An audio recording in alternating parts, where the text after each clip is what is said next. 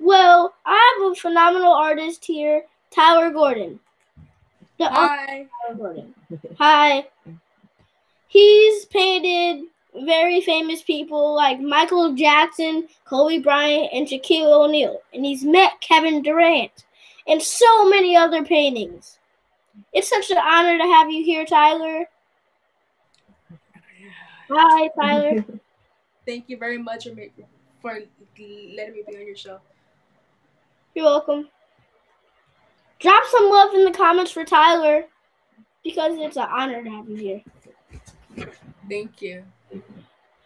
So, are you ready to start with the questions? Yes. What made you start painting? What inspired you to paint? I started painting when I was 10 years old, actually, at a school STEM fair. My, my school opened up a new art category and no one else entered. So, um,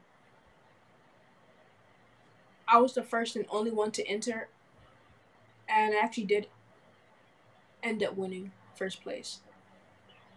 Yeah, that's great. Thank you.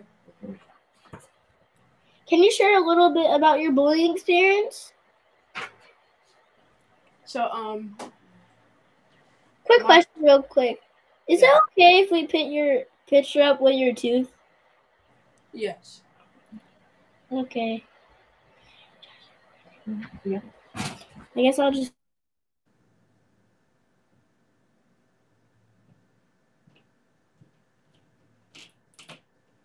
That really did hurt.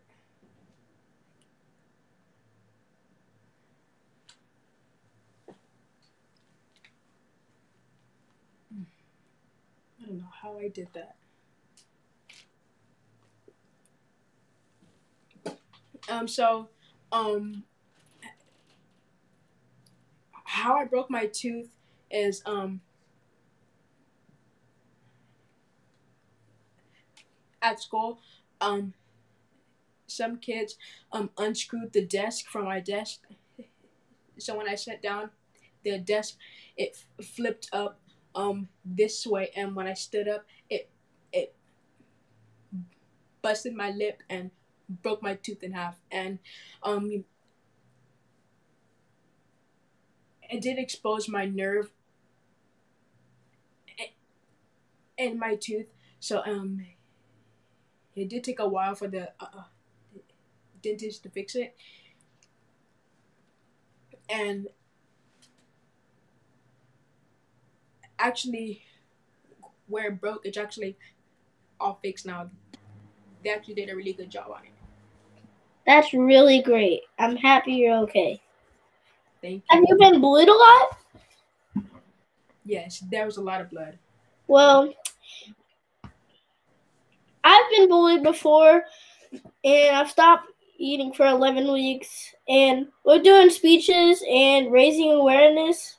It's helped me cope bullying. Um, how about your pictures? Has it helped you cope bullying? Um, yes, um,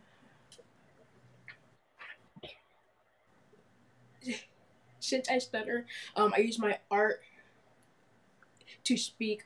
Um, um, so basically, I speak through my art with my feelings, and Okay. yeah, Have your teachers helped, or your principal, or any principal? Um,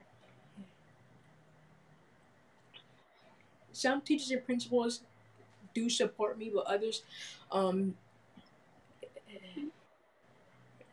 some teachers and principals don't really do anything about it.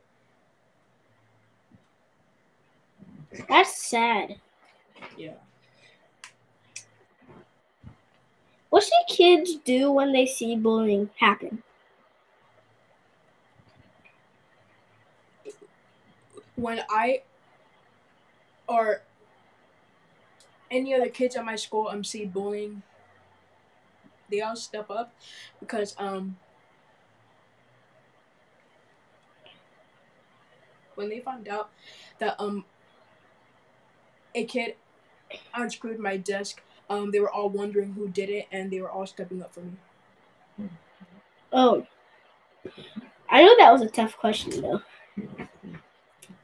What would you say to people who bully other kids or to your bullies? Um,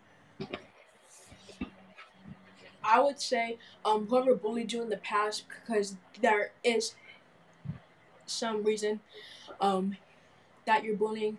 Um, I forgive you, and yeah, you guys should too, because um,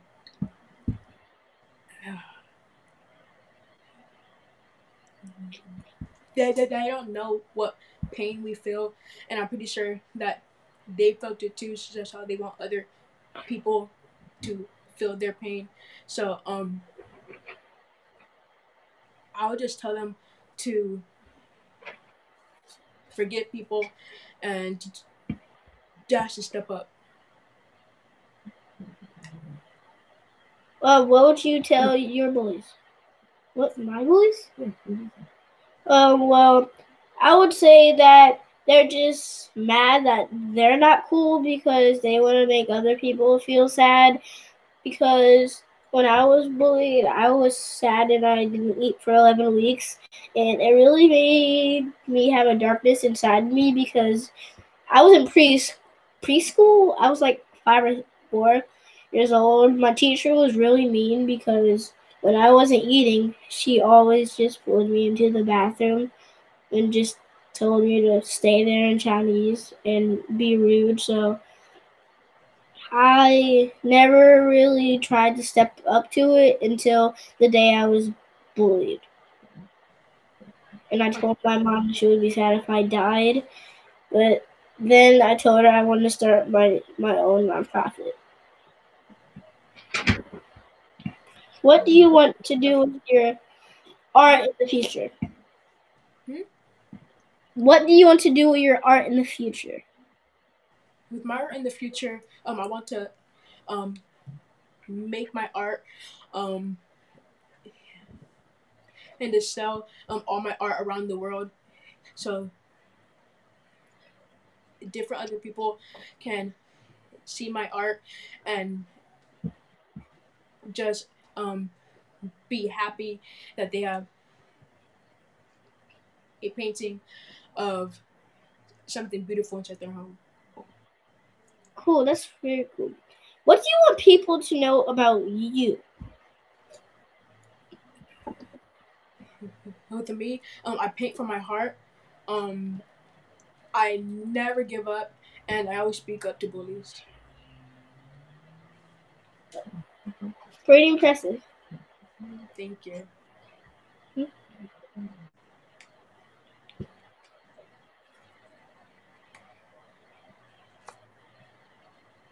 Well, it's crazy with this coronavirus out here. It really is.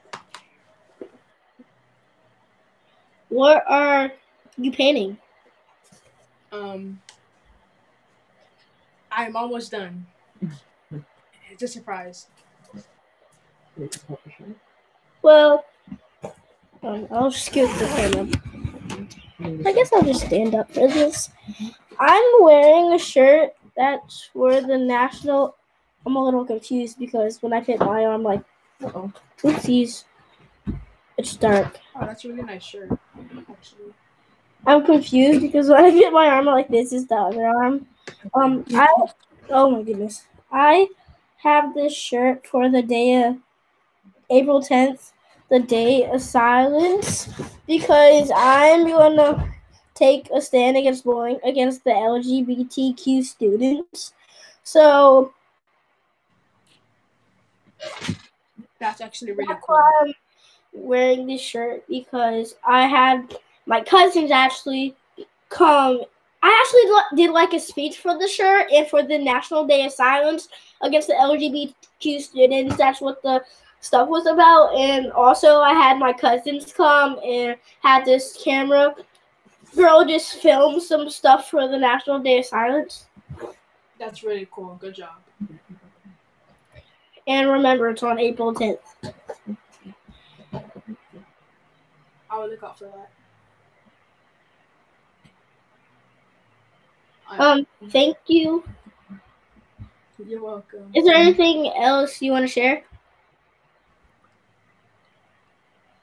I just want to say believe in yourself and believe in your family members and if you're um in trouble or you're being bullied you can always um look up to friends your family That's very cool. Always the right thing to say at the end.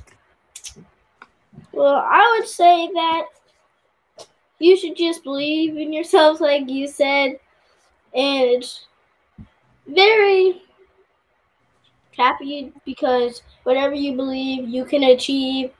That's everything I think in my mind for like when we wrap up. But just thank you, and I'm amazed for being able to have you here. You're a phenomenal art- artist. thank you are you ready Yeah.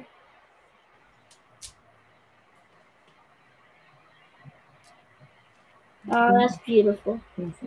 thank you You're welcome. Yeah, It's a picture of me. Yeah, very cool. Huh? Yeah, very cool. Thank you. Bye, bye guys. Um, see you again, maybe if you move to LA sometime. bye Bye, Tyler. bye Have a great.